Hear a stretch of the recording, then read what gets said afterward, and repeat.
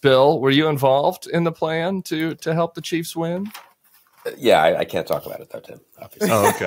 it was a secret meeting. Was Bill Burns there or Lloyd Austin? Uh, yeah, I mean, I don't. I again, I really don't want to get too much. you know what? Bill and Lloyd's private, uh, you know, meetings over the last week. So.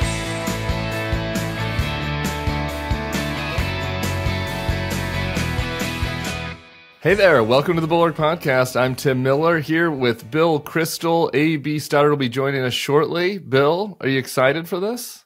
Uh, very much era? so. Very much so. Uh, me too. Me and Bill have been doing a YouTube show called Ballot Box every Tuesday. I am a sicko, but not so much of a sicko that I'm going to do a daily podcast and a YouTube show with Bill Kristol. So he's going to be coming here on Mondays, many Mondays, uh, where we're going to reconstitute that. Uh, you know, we mostly – I made jokes. He told Dan Quayle stories, and we did some politics analyst analysis. Right. Tim Tim told Jeb Bush stories, Jon Huntsman stories. I don't know. We, we, we, could go down a couple of roads here that would be not great for either okay, of us. Uh, okay, all right. Well, then let's just move on. We've got a lot here. Uh, there was the successful deep state operation in Las Vegas. I want to wait for AB to get to that. Um, Israel forces rescued two hostages in Rafah. Uh, we had the RFK Jr. big ad, fake outrage over the Black National Anthem, border infighting at the Biden White House. You had a very provocative opening newsletter that has some fe- feathers ruffled.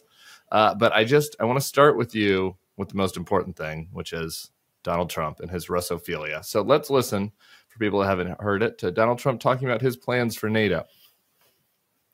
They asked me that question. One of the presidents of a big country stood up and said, well, sir, uh, if we don't sir. pay and we're attacked by Russia, will you protect us? I said, You didn't pay? You're delinquent? He said, Yes, let's say that happened. No, I would not protect you. In fact, I would encourage them to do whatever the hell they want. You got to pay. You got to pay your bills.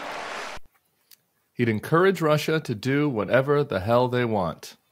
William, thoughts about that? I mean, so much to say about it. It's so revealing, and I mean, on, on a less important scale, it's a fake. Can we just stipulate that this did not happen? The president yes. of a big country did not say, "Sir, what would happen if, if, if we didn't pay our bills, whatever that means?" And and Russia invaded us. So he's, of course, it's his usual ludicrous invention. Secondly, this is also not the most important thing, but the fact that the crowd seems to erupt into applause, at least on that audio clip we just played, does not reassure me about the health of at least Trump, the Trump supporters among the Republican Party. But it is, I mean, it's just mind bogglingly irresponsible and dangerous. And many, many people have commented on it.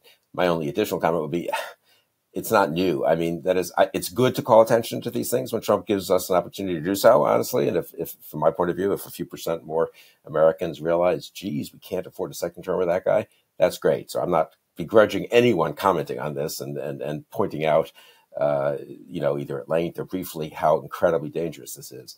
And then there's something a little funny about some of the comments. It's like, wow, we just discovered that Trump would really be a wildly irresponsible foreign policy president who's pro Putin and won't support our allies. So, I mean, I do think there is uh, the new context, and it's not new because the war's been going on for two years, but in his first term, right, the, the Putin, there was the possibility of Putin aggression, right? But right now, you know, we are seeing the reality of it. And, and certainly it's much more believable. Uh, you know, you could imagine that Putin, you know, if Trump got in there, would try to move it incur again into NATO territory. And so, in that sense, this is making it a little more real.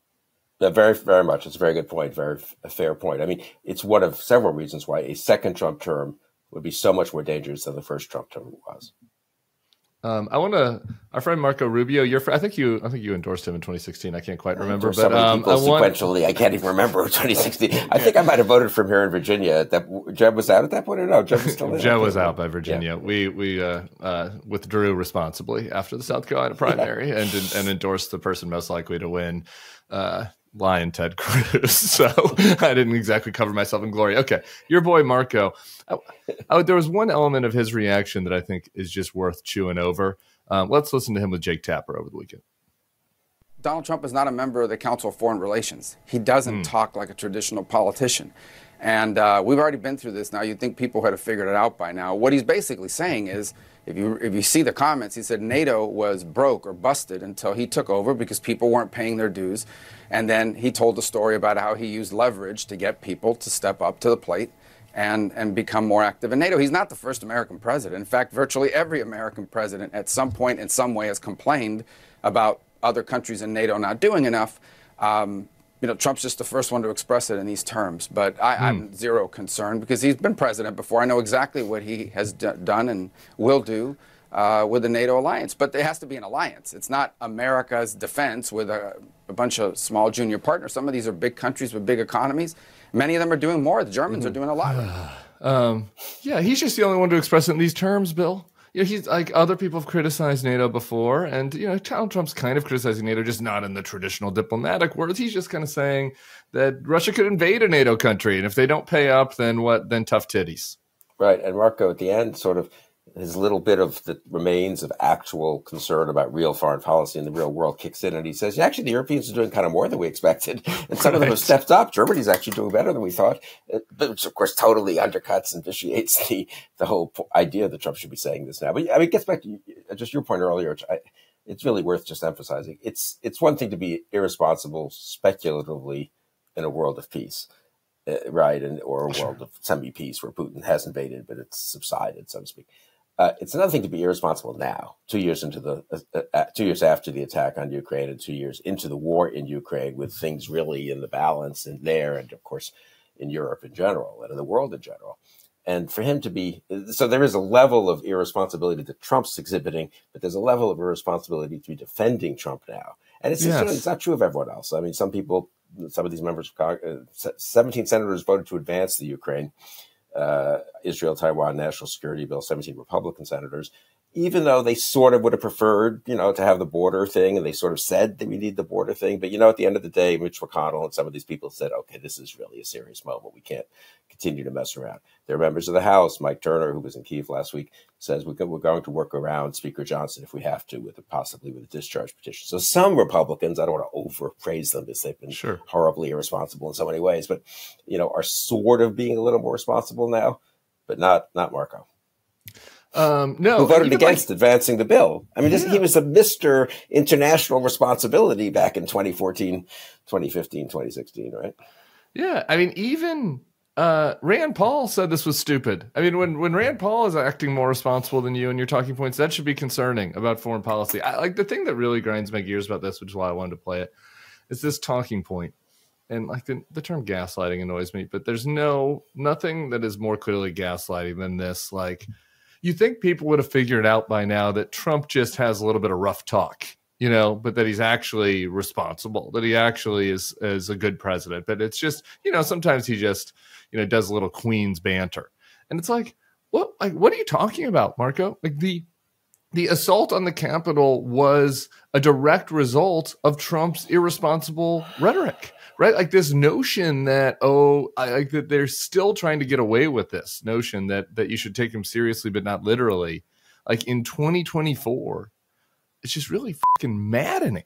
It is. It is maddening. And tomorrow is the third anniversary of the vote in the Senate not to convict Trump after he'd been impeached. And one of I think seven Republican senators did the right thing, and Marco Rubio was one of those who followed, and Mitch McConnell, and and said, no, no, no, you know, well, the system will take care of this over the next three years.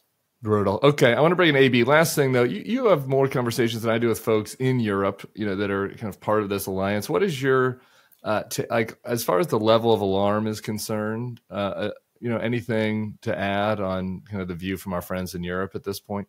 No, it's a close, getting close to 10, 10 out of ten, and uh, whatever the right way to say that is, 10 on the alarm scale. And I think for the reason you said, I mean, it's one thing to be sort of speculatively, you know, jawbone Europe to get them to spend more again when we're sort of at peace. And, and uh, but now say this in the, in the, with the Republic, with the fight going on in Congress about uh, continuing our support for Ukraine and uh, with the situation they face, I think they, they are just really coming to grips with what a, Trump, how, how very, very dangerous a Trump second term would be. So they're, you know, they're they're very alarmed. I mean, they, they always get a little nervous. You know, they're way, they're way beyond nervous. Now now they're, you know, true alarm. AB Stoddard, can we see what you got on there? Uh, is that uh, when did you when did you put that together? That's for people that are listening. That is a red sweater with it looks like some construction paper, yellow mm-hmm. number eighty seven on there. Yeah. Talk so I got that. inspired um, and to do a DIY. I don't have any Chiefs gear around my house. So I'm not a Chiefs fan. I don't follow football, but I decided to don some celebratory deep state globalist garb in honor of Travis Kelce and Taylor. And she was covered in 87s. People found them on her boots, on her neck, on her like nail, you know, the whole thing. So anyway, I don't know. I just like woke up and freaked out and decided I had to just, you know, just I'm really enjoying the fact that they all had to root with Nancy Pelosi for a San Francisco team in Magaland, and they just they had rough nights. So there's a lot of darkness that we need to get to. So this was my way of like brightening my Monday. Yeah, I have a little bit more Schadenfreude. I have a little bit more Schadenfreude. I have one note. I have one note. I do. I, we, we could have had the Pfizer band aid from your yeah. vaccine. That's we could have added that. That would have been my one note to the DIY costume, but it's very, very good. Just in case you redo it for Halloween. Okay. Uh, Jason, if we could play um, on the other side of the Schadenfreude Freud scale, I, will just we can all admit this is ridiculous. It's absurd that there is that uh, our country has devolved to a place where we have a culture war, picking sides on the Super Bowl based on a country music singer and a guy that just did an ad for vaccines. But we are in this place, and so for people who don't know, one of my nemesis is a guy named Clay Travis. Uh, he went to college with me. He is a uh, right wing sports talk radiohead. That's a thing now. Uh, he has a sports talk radio show that is combined with MAGA outrage of the day talking points. I wrote a very lovely profile of him a while back. If you want, if you want to find it, it was one of my most enjoyable things to write. And I want to hear. Here was Clay Travis on Fox over the weekend with Howard Kurtz discussing who he was rooting for. You weighed in on the Taylor Mania a few weeks ago when you said she was partially responsible for the Kansas City Chiefs losing a couple of games. Do you stand by that comment? I hope that she's the Yoko Ono of the Kansas City Chiefs and she destroys their dynasty and mm. puts them down in flames. That's why I am proudly supporting the San Francisco 49ers, America's team, on Sunday against Kansas right. City, Patrick Mahomes, Taylor Swift, you, and Travis Kelce. You got Go that. You got Niners. All right sports expert Clay Travis with totally with Howard Kurtz, whatever happened to, to, whatever shred of integrity was left, uh, hosting him. Tough break. Uh, Clay also put a big bet on the 49ers, so uh, that is a shame. On the other hand, we saw Joe Biden, the team, a little bit kind of responsive there after the Super Bowl win. Biden with the what are the eyes? The the, the dark, the dark Brandon. Brandon eyes. Thank you. The dark Brandon eyes, saying it was all part of the plan. Bill, were you involved in the plan to to help the Chiefs win? Yeah, I, I can't talk about it though, Tim. Obviously. Oh, okay. it was a secret meeting. Was Bill Burns there or Lloyd Austin? Uh, yeah, I mean, I don't. Again, I really don't want to get too much. you know, Bill and Lloyd's private, uh, you know, meetings over the last week. So. Um, it's pretty good though. I mean, it is. It's it's pretty enjoyable. That I think that bringing some levity to this. You know, there's a lot of very seriousness about the um, uh, just the way that the right and the right kind of media echo chamber has just evolved um, from a place of kind of light conspiracy and you know uh, uh, into just total total madness and insanity. And I think that there's some very negative downstream effects from that. But if you always are taking it seriously, you know, and fact checking them, you know, I, I don't, I, I think that there's a limit to how much that works as compared to just mocking. I think that there's a time for mocking, and Biden is not usually, that's not usually his cup of tea. You know, he is a soul of the nation reformer, but a little, just a little hint of mocking, that that's useful, right, AB?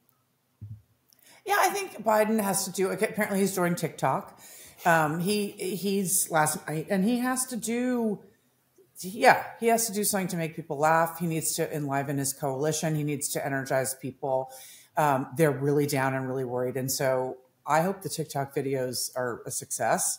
And I like the dark Brandon memes on on from Harris Biden or Biden Harris HQ or whatever they do on Twitter. It's they actually do funny stuff.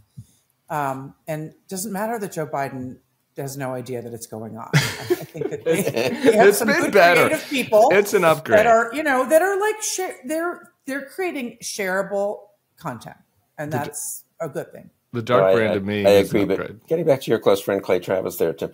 What's with the 49ers being America's team? It's really fun. It's not, it is, it does show something, not to get too serious, about the way the conspiracy theorizing leads them. They could just say we hate the Chiefs because of Taylor Swift and all this stuff, and right. Pfizer and Kel- and therefore I'm rooting for the 49ers. But you can't say that anymore. You can't just be lesser of two evils, right? Because you're in an insane conspiratorial world of say good and evil, Satan and and and God, whatever. Right. And so you've got the where the how long ago was it that the 49ers had a quarterback who you know destroyed America's patriotism forever by taking a knee on the football field? Mm. Yes. And, you know, San Francisco with the gays, the sodomites are in San Francisco. There's that to consider. Nancy Pelosi is there. It, it, wasn't a natural fit for America's team, I don't think. But, um, you know, uh, it, like, I don't think that you can't go to a place of logic here. You can't, right. you can't go to a place of logic. Anyway, it's just, it was a win for me. It brought AB some joy. I'm uh, gambling is legal here in the free state of Louisiana, so I might have put a little cash on the Chiefs. So think, things are good. I'm happy about it. The, there was a little a lightly concerning moment during the game for me, which was uh, the RFK Jr. ad. Did you get to see it? Yeah. Yeah. It um it was pretty good. I thought like I I received several texts about it being good. Now there've been some fallout uh how RFK's family members did not like it and he's like apologizing to them on Twitter saying it was my super PAC that did it. I had nothing to do with it. Meanwhile, the ad is the pinned tweet on his feed. So uh, he's kind of struggling to manage the social media side of this, but just the content of the ad for people that are not, you know, kind of in the Twitter politics bubble. Um, I, he's not a natural fit for this role of of I'm I'm a fresh alternative to these two old guys, but he might be enough of a fit to create problems. What, what was your guys' reaction to it? I, I mean, I, yeah, I agree that it was. I, I think it was who knows? I mean, who knows? Really make this really make a difference? But it was effective in its way.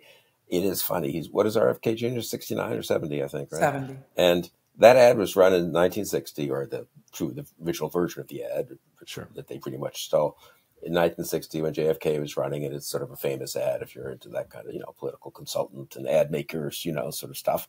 And JFK was 43. I don't know it makes me makes me wonder, you know, it be nice.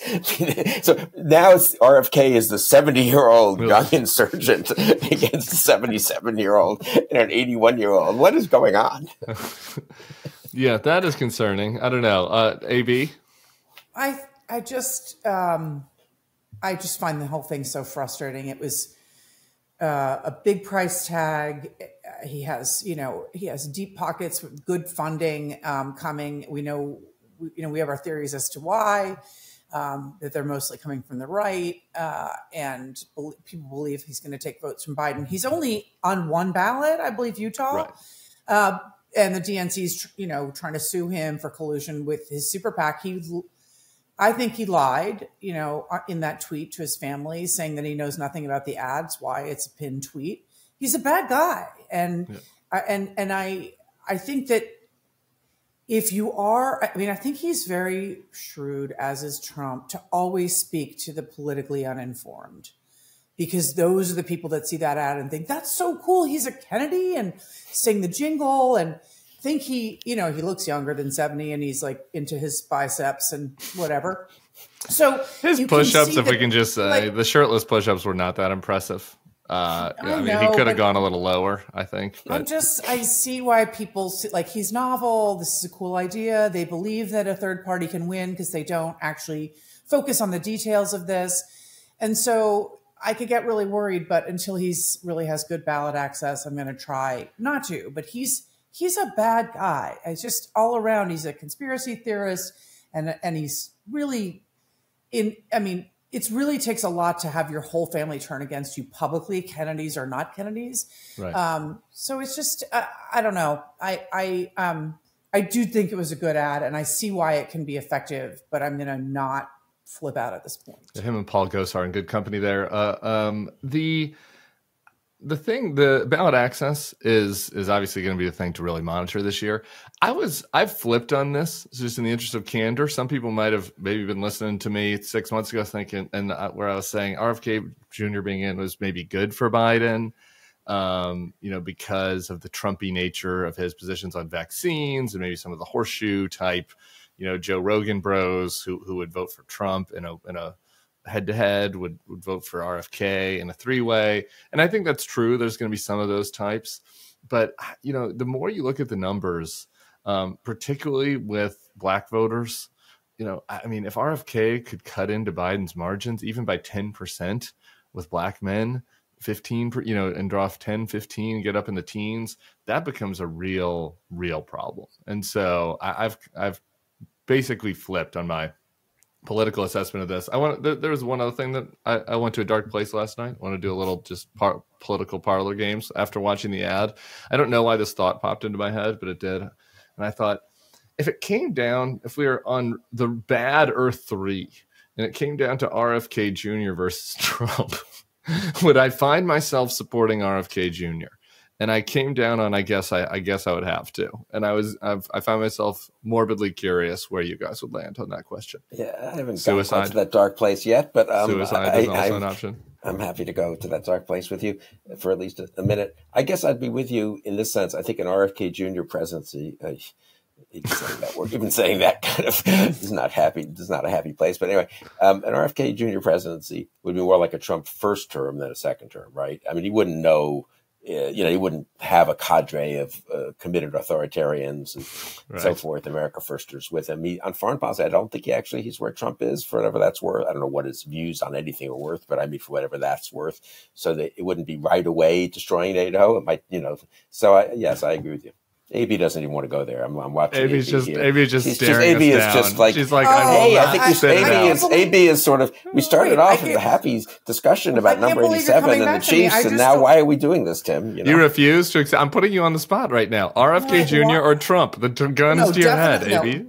Definitely RFK Jr. Okay. I agree with uh, I, I, agree with this that he would sort of bumble through the first couple of years and not be as dangerous. But I, I thought you were throwing this to Bill so he could weigh in. I just told you guys I'm non-dealing with RFK Jr. until he's on more ballots. Like there, you know what I mean? There, there's there's another third party effort that's on 14 ballots. So I'm going to like just not get. I'm not going to lose sleep over him yet because I have a lot to lose sleep over um, from last week. So I thought you were going to move on. No, I was not going to move on. I didn't know you were coming back. I was not moving on. i am putting you I've on the written spot. RFK Jr. off. I, I want I want the clip for future usage of everyone on this yeah, podcast affirmatively supporting RFK Jr. Who once no tweeted question. a bulwark article. I forget what it was. So you never know. You know, strange bedfellows. Um, as you say, okay, there was one other Super Bowl thing. I, I have to get on to Mike Gallagher, but before I do so, I just several people on the right, and I just can't take this anymore, uh, were tweeting about how offended they were about the Black National Anthem. My friend Matt Gaetz said that he would not watch the Super Bowl because of this. Megyn Kelly uh, sent a mean tweet about it. The song they're referring to is Lift Every Voice and Sing.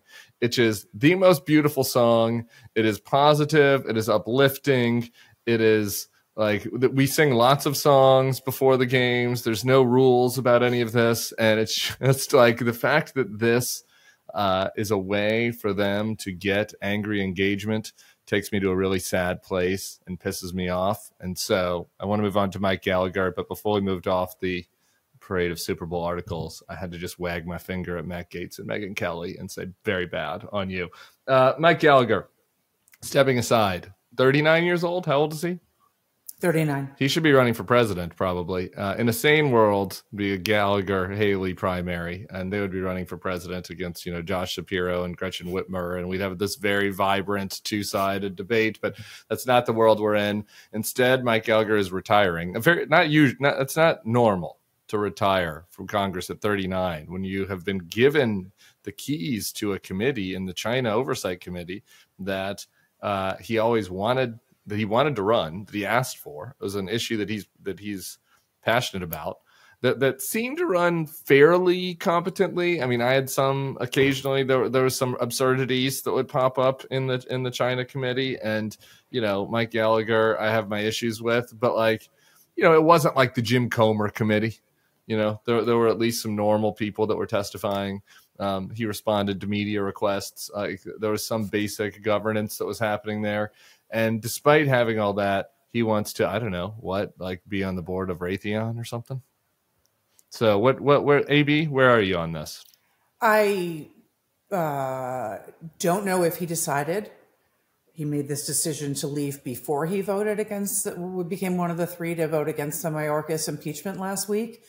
which he knew he was going to take heat for, and he was threatened afterwards and attacked from the wacky right uh, in Wisconsin. But he, there, what you say is true. He was on a rocket to the moon in a former party, right? He was the dream Republican. He has $4 million in his house account, in his campaign coffers, more than any other House member.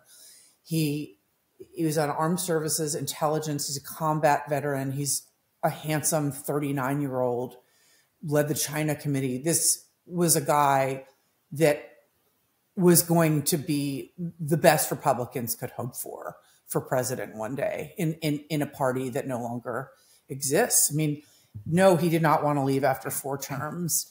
Um, and again, I don't know if he just made his decision or made it, you know, I think a lot of members, even who haven't, you know, who, who are announcing now have probably made their decision a while ago. Um, this, this Congress has really shown them what it's going to be like going forward. And a lot of them are really miserable about it. And that's why you see like Cathy McMorris Rodgers leaving a good chairmanship, Mike Gallagher leaving. So it's not that he responded to an immediate threat, but it is illustrative of what's happening to the party. And it's, it's, it's just tragic. I mean, that's exactly the kind, whether you agree with him or not, it's exactly the kind of person that we want as our public servant. And, and it's, um, it's it's so scary to think of what this is going to do in terms of the makeup of the House Republican Conference going forward, and then what the makeup of the House Republican Conference does to the, to the House as a whole. I mean, you can't just yeah. right, you can't just have a sane conference. You have to have sane elements in both conferences, and and so that's that's just when you think out to next year um, and going forward, who is going to be running the House on the Republican side, or even in the minority on the Republican side? It's it's it's really quite frightening. Bill, you've been on this for a while. There's like an Adam Smith. There's a supply and demand thing that is happening. Like, and it is it is in, at the candidate level and at the voter level right? As far as who is opting in and who voters want. And so we have this trio of opt outs. You mentioned McMorris Rodger. It's also worth mentioning Patrick McHenry and Mike Gallagher. None of these people are profiles in courage. It's just like I'm not praising any of them. All of them uh, were accommodationists is like the nicest thing that you could say about them during this the Trump decade that we've uh, been living through. But you know, reasonably rational people that if you were of the view that like this goes away, right? That at some time the Trump era goes away and he disappears, or we get the hamburger from heaven, and then things move back to normal. These would be the kinds of people that you would that if you're of that view, that you would want to have around because they would stabilize things. So they're leaving. And Bill, you've always talked about how the people that would be opting in types people that call you for your like wise wise sage advice you know former military guys conservative you know people that might want to go home to where they grew up and run for congress uh, and and you know might have conservative uh, uh, sensibilities. Like they don't want to run like they don't want to have to run in a primary right now in the republican party. So like on both sides of this like there's just a vacuum that's being created for the the most crazy, most sociopathic, most narcissistic people imaginable, and that is just a downstream effect of Trump that I think that hasn't really sunken in with a lot of folks.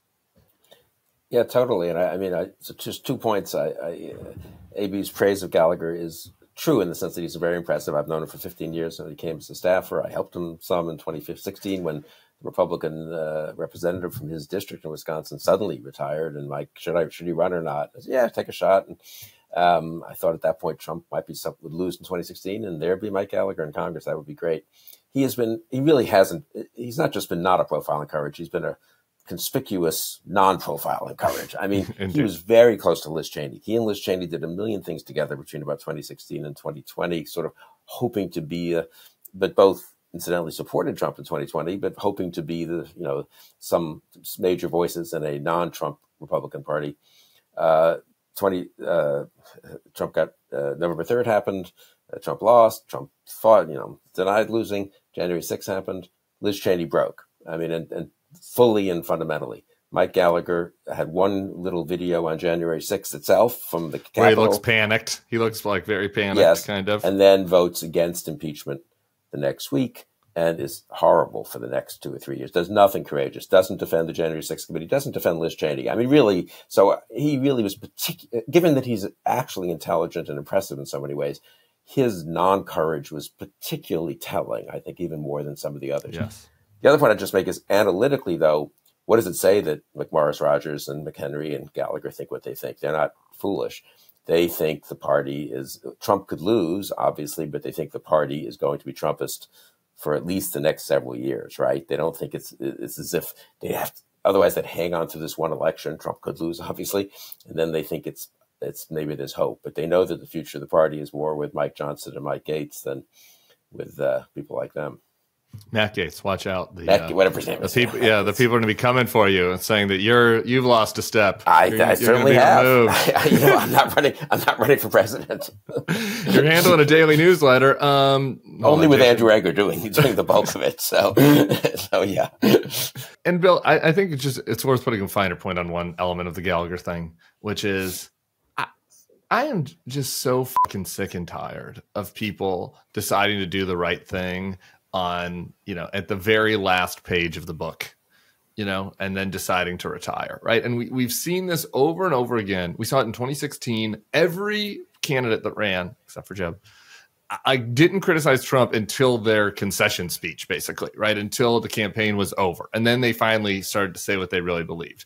We're seeing this even now with Haley, right? Like where she's really starting to go at him after it's all like it's after it's functionally over, right? Like maybe she has a chance. I don't I don't want to get you sad over there, Bill, but but it's functionally over and now she's finally attacking him.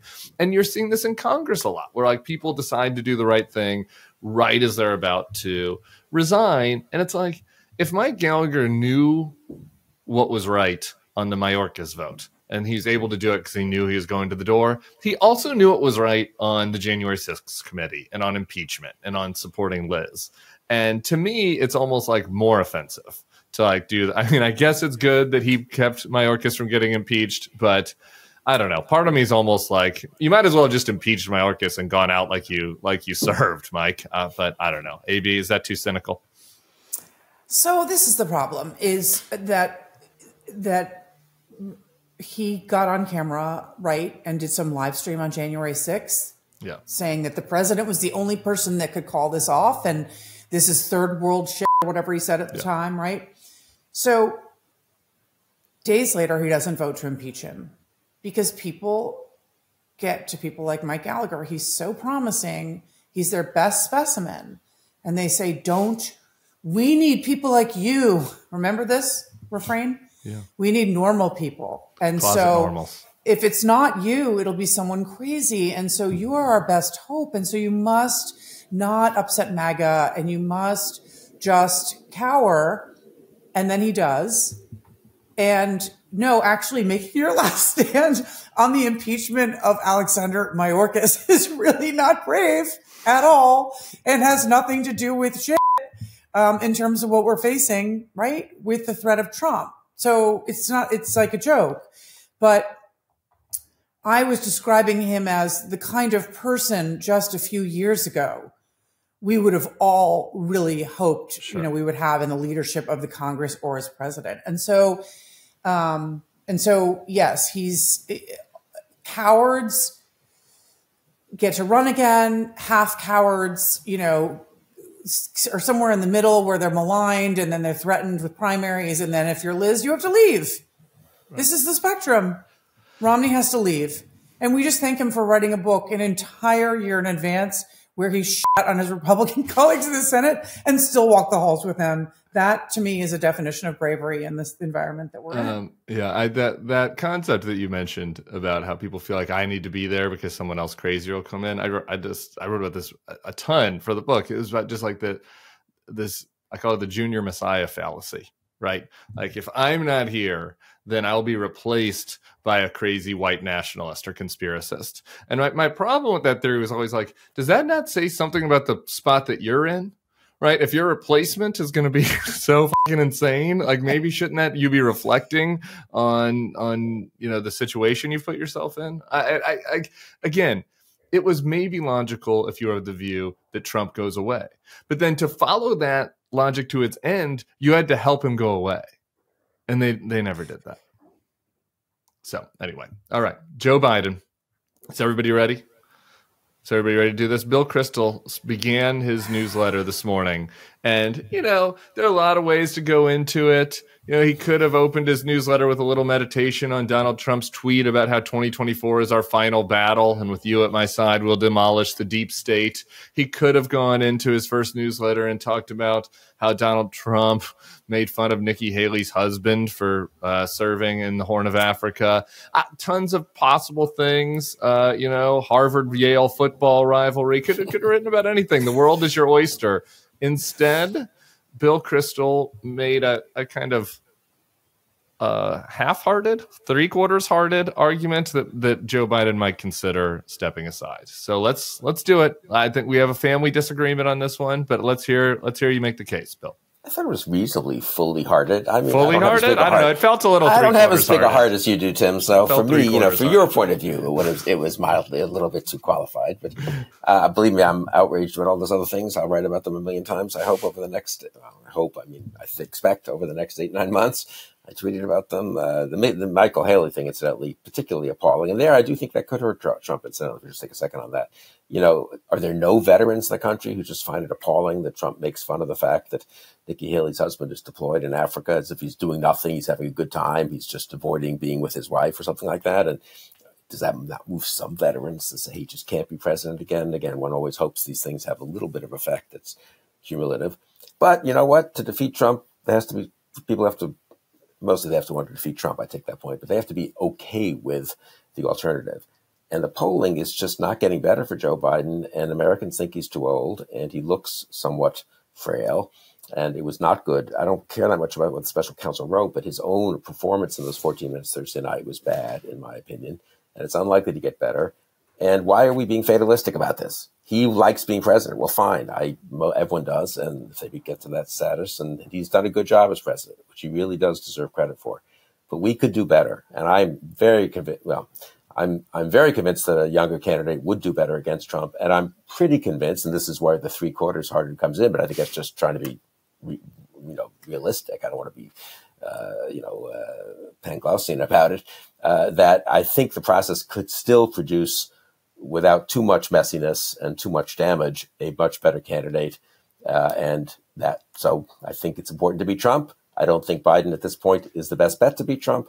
So I think Biden should do the right thing for the country. How aside. would that work? How would the process work? Talk so Biden just steps aside. Then we have a whole bunch of primaries. You'd have write-in candidates where it's too late to get on the ballot. You can still get on the ballot for some of the last few states. It probably would become a kind of uh, slightly chaotic. You know, a lot of people would run, or or people would write them in. If, even if they said they weren't running, they'd be draft Whitmer, draft Shapiro, draft Newsom. Some of them would run, actually, especially, especially Biden. Well, uh, we're, talking in this case about Biden stepping aside. Certainly, Vice President Harris would run. Uh, probably no one might get a majority. You might have a brokered convention. I did point out that uh, we had brokered conventions in 1932 and 1860, also in Chicago, where the Democratic Convention is, and that produced Roosevelt and Lincoln. So uh, maybe brokered conventions aren't always so bad. I got an email right away at like 9:31. The newsletter goes out at 9:30, I think, from someone. what about the night? There's another convention in Chicago you're not mentioning, 1968. that wasn't such a good Democratic convention, which is a point I had thought of. Actually, I had a, actually a couple sentences in about it, and Andrew and I discussed it and thought of being like too complicated now. But was, this is an interesting case study. That was a total mess, right? LBJ gets out. Robert Kennedy tragically gets assassinated. McCarthy, uh, Humphrey, terrible convention. I still think Hubert Humphrey would, was actually a better candidate and probably ran better against Nixon. He almost won than LBJ as the incumbent would have. Now Biden's not LBJ. There's no Vietnam War. I don't mean to, to, to you know, I wouldn't overdo the analogy or anything, but I just think an incumbent. It's getting harder and harder to say that the judgment of Biden hasn't settled in or isn't settling. And Doug Sosnik, a Democratic veteran Democratic strategist, had a very good piece in the Times yesterday, which really made I mean, it's advice to Biden, but it's really not encouraging about just hard-headed look at what Biden's numbers are. And he is the incumbent. It's going to be somewhat about him. It can't totally be about Trump. Carville and Axelrod were quoted in the Times article. Pretty tough comments for people who have to really work in or, or associate with Democratic operatives in a way that I don't quite have to, honestly. So I feel like, you know what, analytically, if I'm with Sosnik and Carville and Axelrod, I'm okay If people don't like that I urged him to step aside, maybe I'm wrong. Maybe he's maybe he's right that he's the best alternative. That's what he says, the one who can beat Trump. But fine, then he'll reject the argument. But I feel I feel bad not making the argument. So I figured why not start with that? I and appreciate then we, you. can get to, then we can get to beating up Donald Trump, you know? okay, well, I have a half-hearted, a three-quarters-hearted disagreement that I'll get to, but I'm deeply curious where AB stands because AB was really with you last year, right? And the fact that and arguing that there should be a primary. Are you are you still with Bill, or are you are you digging into your heels for President Biden at this point? So I started writing about this in July of 2022 because the polling is two years old on the fact that Biden's age has disqualified him amongst a majority of the electorate, including from his own party. That's only gotten worse. And he dug in anyway. So I wrote that. I wrote that from July to, the end of 2022. I wrote it throughout 2023 and I we were Bill and I are expecting he would go on holidays at the end of 2022 after a great midterm, come out say he wasn't going to, but he waited till April. And when he was waiting, I thought he was going to say no. I thought this is his way. He's dithering. It's Biden's way. But he knows, the man knows how old he is. He's been humbled by life so many times and by the twists of fate. He certainly is not going to do this. And I'm to this day completely stunned that he that he decided to run again. Um, I have different theories about why and who pushed him and this type of thing that I'll leave aside. I'm not certain about the calendar that's and kind of a brokered conventions and like ways that, you know, ways that this would go. What I would like to think, because now, as of this morning, especially, I'm very pro deep state, you know, um, I would like to think that some cabal, if he stepped aside today, could sort of just push some kind of juggernaut, you know, where it's like down to Harris and one other person, right? And they have like that it's not 13 people, including Elizabeth Warren, like not a silly situation, but enough donor pressure. Can we put in the House of Cards like- music under this under this section, uh, Jason?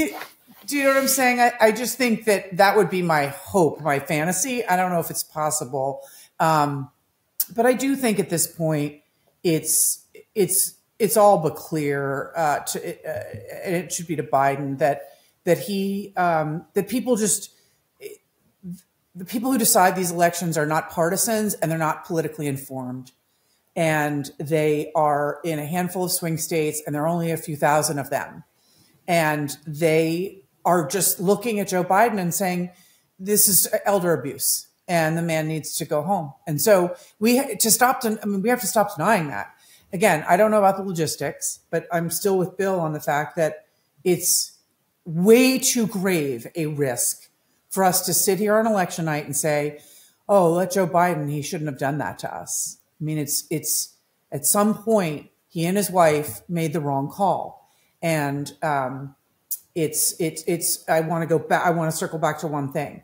His accomplishments have nothing to do with this. In every column that i wrote about this and everyone can go back to them i talk about his accomplishments which are extraordinary and an unprecedented unprecedented legislative record in the congress in a time when there's no margin no math and a completely gridlocked polarized political environment but no one knows about these accomplishments. And it's too late for them to quote unquote learn about them through cabinet secretaries traveling the country and blue ribbon cuttings and some TikTok videos. So this is the pro- this is the denial in the in the Democratic Party.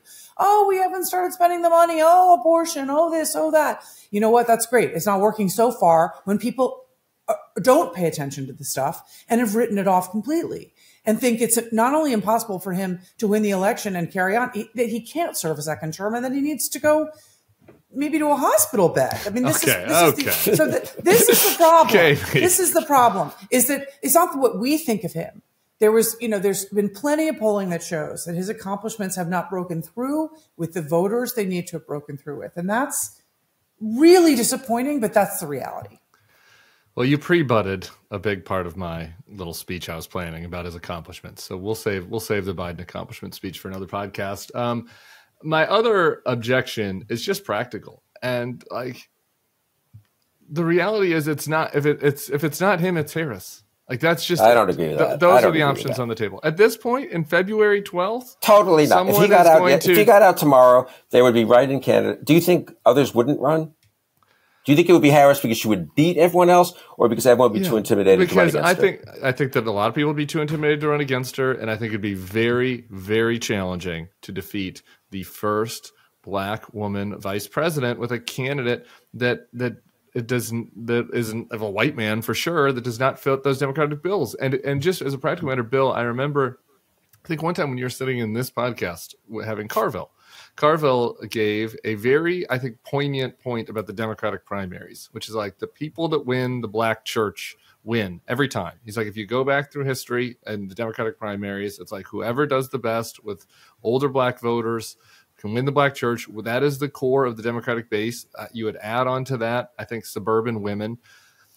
So you have to come up. So you have to come up with a candidate in this fantasy world. I love AB's deep state plan that we're gonna like put a new you know person forward, but like you have to come up with a candidate that can beat a sitting black woman vice president in with black voters and with suburban women, and you're gonna have to do it like maybe at a, on a convention floor uh, boy, I find that very, very hard to imagine. Well, you you might be right, obviously. And I, look, I'd make only two points. A, you know, the fact that she is a uh, Kamala Harris is a black woman doesn't mean that all blacks or all women will vote for her. Obviously, they didn't in 2020. A, B, I don't even agree with AB on the, a multi-candidate race, including Elizabeth Warren. That doesn't terrify me. I believe we had that in 2020. And who won the presidency? Joe Biden. He won it in part because he won the primary against a lot of other people. And so C, I'll make this point. I think probably Vice President Harris probably wouldn't win the primary. If she did, she would be stronger as a result. And I've now come to the view, and I, this may just sound crazy to people, that a Vice President Harris who defeats Gretchen Whitmer and Gavin Newsom and two or three other people in a set of primaries, write-in votes, who gets the nomination on a, in a kind of open convention, picks a vice president who would balance the ticket, sort of. I'm not sure that's not a stronger ticket than Biden Harris. So I mean, I'm not so terrified of, I'm actually less terrified of Kamala Harris at this point than worried about Biden trying to make the case to the American public that, that, that, that Joe Biden should be president for five more years. Uh, and that he should do so with a Vice President Harris who hasn't had no has had no chance to prove herself really as Vice President. Maybe she missed some chances. Maybe that's her fault. Maybe it's the Biden White House fault. If she actually won a primary, be like George H. W. Bush in 87, 88, the wimp, the, the mush. He's a very bad, he's a, he's a, he's a lame vice president. He's never been a great candidate. But you know what? Once he beat people, he was a stronger candidate for the in the general election. So that's my wishful thinking, and uh, you know we are competing honestly. well, here is where we kind of agree. I think I do. I'm actually not so scared of Kamala, but I'm just not. I think that she obvious, has obvious weaknesses that are some of which uh, that she's brought upon herself, some of which that are totally not her fault about the nature of the swing voter and the swing electorate and how they might feel about the first black woman president. Enough. But I'm not that scared of her. I, and I, it comes down to AB was being very dismissive of the well, the Democrats' response to this is well, abortion, well, our accomplishments, well, we haven't spent any money, well, people haven't really sunk in that what the reality of Trump two would look like. Isn't that all true? Isn't that all true though? That that yeah, in I mean, 2022 that that system worked, you know, that range of issues worked, and that in 2024 you know the Biden White House is going to have an advertising juggernaut, is going to be able to highlight I'll, I'll the try weaknesses. To help. Uh, people like me will all be trying to help make those issues work, and they should work. I mean, I, I don't get me wrong; I'm for Biden against Trump, 100. Right. percent And um, but I'm I don't think it's quite like 2022 for various obvious reasons I, uh, we could get into. Uh, mostly that Biden, for all the talk that 2022 is a vindication of Biden. You know who actually won big in 2022? Gretchen Whitmer. Josh Shapiro, a lot of people who are a generation younger than Joe Biden. So I'm kind of simple minded. Why not let them run in 2024? I feel like that would be stronger. Um, so that's, you know, and the, there's such anti incumbency. There's lots that's unfair about it. But again, I, I think Joe Biden was not on the ballot in 2022. Final point about 2022, just incidentally. It was a very good off year for the Democrats by the standard of off year elections the Republicans won the national popular vote in 2022 by about 1%. It's not as if you know, people are a little over. If we replicate 2022, Trump will yeah. win the presidency. Well, but some of that, but the Democrats did well in the key states, in the electoral college states. The, the they did, yeah, exactly. The Republicans Whitmer, overperformed in California I, and New York. I couldn't agree more. Whitmer, Shapiro, Warnock, they were great. All right, Bill, pretty convincing. AB, I'll give you the last word. Yeah, I, I again, I, it, it's a question of what they're going to break through on um, in a non-midterm year, in a presidential year, when those voters I talked about who will be turning out, who can decide these elections, and, and are not, you know, informed about who Kari Lake is as an election denier. Bill's right; more Republicans turned out in 2022 than Democrats. Most, a lot of them just voted for Democrats in the right places and spared right. us secretaries of states and governors in key states who were election deniers. Um, a lot of that, you know, motivated, a lot of those motivated young people who came out on abortion in the right places um, really saved the day. But uh, I, we can't count on strategic turnout in the right places, stopping uh, the fact that Trump has new converts. And I know this is dark and you guys don't like to yeah. hear it, but like a lot of people are perfectly fine with Donald Trump. They think they saw him the first time, and they think like Marco Rubio, who just said on Sunday. Where's my? I, I gotta exactly hold a paper bag. I'm keeping a paper bag by my desk during this podcast this year. Rubio Rubio says, "I know exactly what he's done and will do with the NATO alliance," which Rubio knows is not true. But the average voter doesn't know about the Insurrection, uh, Insurrection Act, doesn't know what a kleptocracy will mean, doesn't understand what guardrails will now be gone. And so they do look back and think it was fine. We see that in polling, guys. They're, I think they're really jaw with like the first Trump term. And it's, I think people, the Democrats are really in denial about that. They just are. They think Trump is so radioactive for the general electorate. He's not. You know what's you know what's great about this podcast, Tim, is that Tim Brake brings on AB to moderate my insanity. You know, she's she is such a wonderful, genuinely wonderful, thoughtful, judicious person. But I'm glad, the AB, that you're like making Tim even more happy than I. Am. Yeah, lapping you, lapping Bill. It's like go harder, guys. Um, we didn't promise you happy talk on this podcast. I've, we promised we'd tell you what we really think. I will say this, and this is important. I've seen I've seen the Reddit memes um, about the bulwark, uh, you know, where they've uh, changed uh, the the art on the podcast to Biden is the Biden is old podcast, and uh, I've seen it, and we I, I hear the feedback, but I just have to say, this is the thing. This when I said at the time, this is a family argument. Like what is happening here is every, everybody agrees on one thing: the threat is so great. The threat is so great and so, if there are frayed nerves among people on the same side, it's because I, we're trying to work through what the best answer is to deal with such a great threat. And that's going to be something that we're going to be doing all year. And um, I hope you'll be doing it with us. Bill Kristol will be back next Monday. AB Stoddard will be back a lot. I don't know. After that last performance, though, we might need a week a week or two break. we might bring AB back in March. We'll see. You can catch her on the dark side with JVL. All right, that's it for the first podcast. Uh, before we let you go, I wanted to talk to you briefly about what is to come in this space. Uh, for five years, Charlie did an amazing job providing this outlet for people who are either thrust out of their political tribe or trying to understand how the right lost its mind. My goal is to continue in that spirit.